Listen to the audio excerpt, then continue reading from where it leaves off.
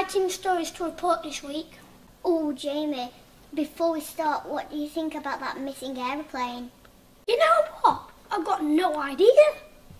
What? What? It's fascinating. Our first guest this week is Maxim. And check out those socks.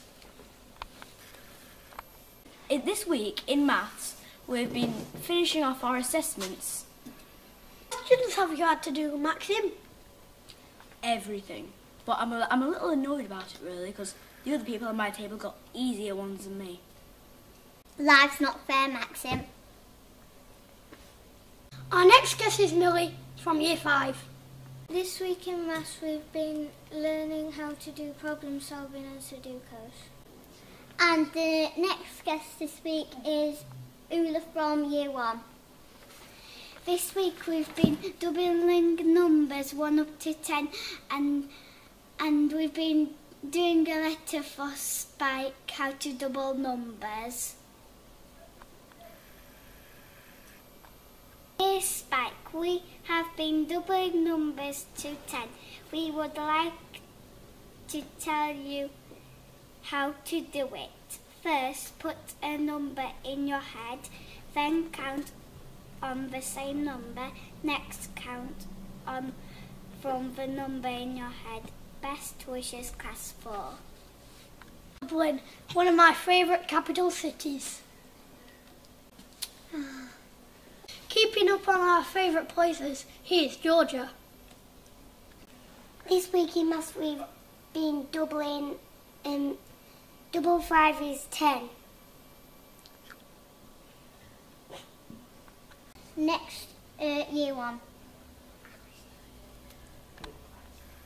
Um, this is about ancient Egypt, Then it has um, ancient Egyptian writing.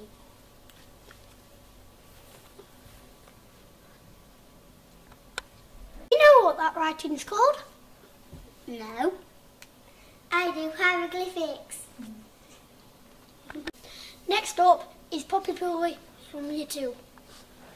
This week in maths we have been learning all about to do division using arrays. Hmm, fascinating. Finally, from year two, it's Emily Newer. This week in topic we have been doing about pyramids. Oh, a bit more about them, please. You build pyramids by placing large bricks, brick by brick. Hmm, fascinating.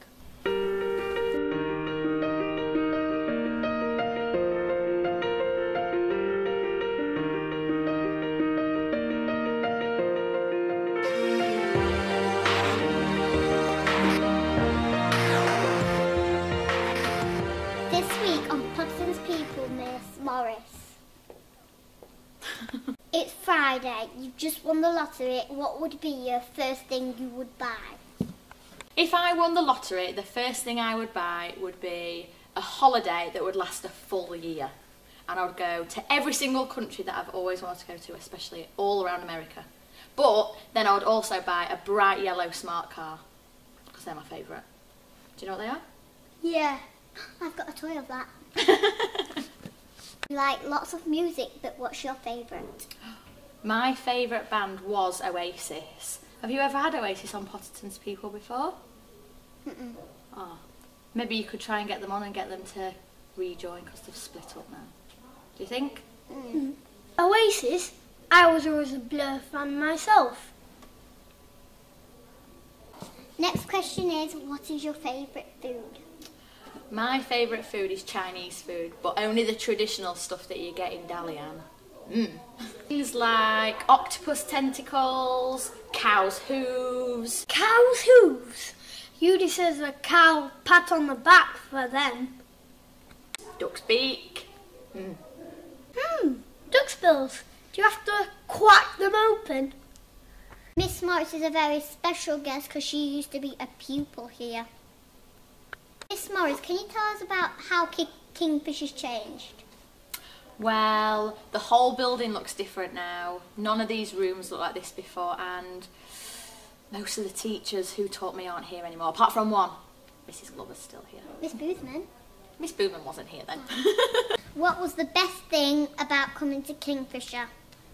I think the best thing about coming to Kingfisher was all the school trips we went on. We went on loads Cleethorpes. and loads. What is the best holiday you've ever been on? My favourite holiday was where I went last summer and I went round Southeast Asia. Do you know any countries that are in Southeast Asia? Mm, I'm gonna go for Vietnam. Thailand. And Cambodia. Cambodia? Yeah! Final question. If you had a superhero's powers, what would it be? I think it would be to be invisible so I could uh, sneak into other people's classrooms and see what they're doing. Like yours. Devious. Big thank you to our guest this week, Miss Morris.